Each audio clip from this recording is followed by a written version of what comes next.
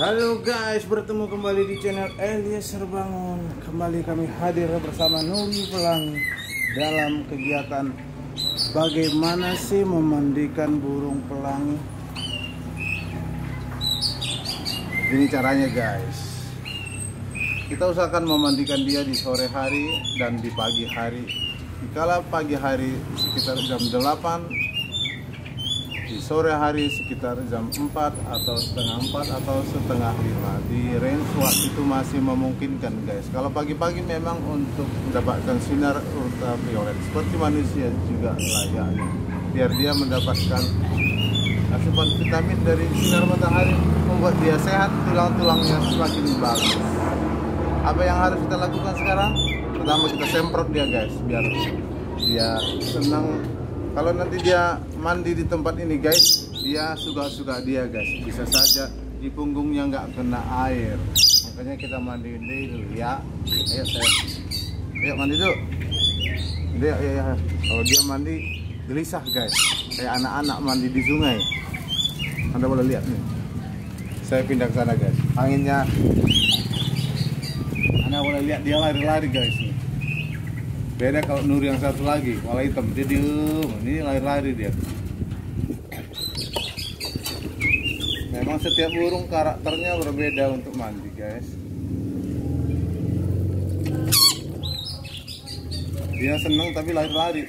Ntar kalaupun kita bikin satu tempat mandinya di dalam dia melompat-lompat.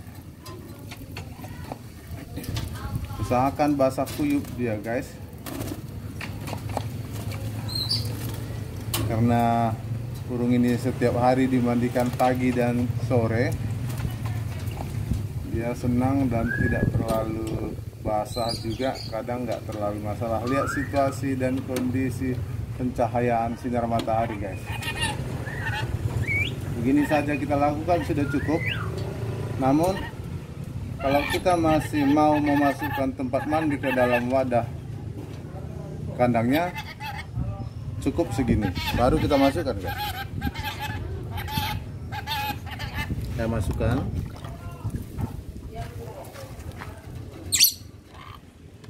Ya sepertinya nggak sabar guys. Ayo mandi. Mandi ayo. Mandi. Kita tinggal diamin guys. Tuh tuh. Itu lasaknya dia guys. Kalau burung nuri ini memang begitu dia tuh lihat ya guys ya. Kakinya dulu digerak-gerakin. Ya paling 3-4 kali lah dikelilingi sama dia. Baru masuk sebentar weh. Itu dia lari lagi. Ntar lari lagi ke atas dia guys. Kita udah basah di kupinya nih guys. Anda boleh lihat sebentar lagi dia akan lari ke atas. Wah itu dia tuh, tuh kebiasaan dia. Baru lari lagi ke bawah. Itulah kesenangan burung nuri ini guys. Nah, ini namanya burung nuri pelangi. Burung nuri pelangi ini kita sudah buat namanya si Marco. Marco. Dia senang namanya manggil dari belakang guys.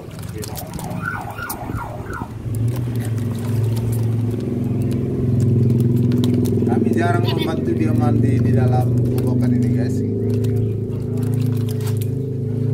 Karena kalau kita mandikan gini mungkin dia mau guys.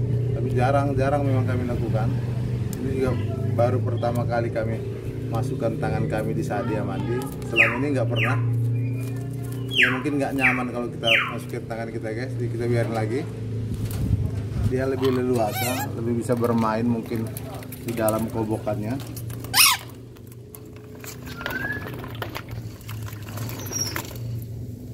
seandainya air di dalam kobokannya kurang guys bisa kita tambahkan.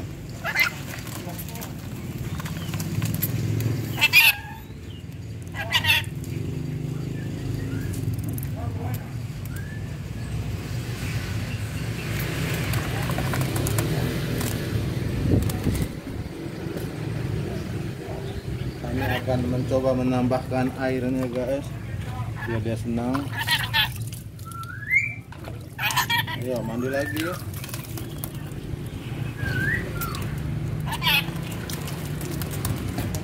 Semakin penuh air di kobokannya dia pasti lebih senang guys. Makanya kalau bisa kebiasaan kami tidak selalu kami semprot untuk membasahi mengguyur tubuhnya. Biar dia masih punya waktu bermain dia bermain di dalam bak mandi tersebut.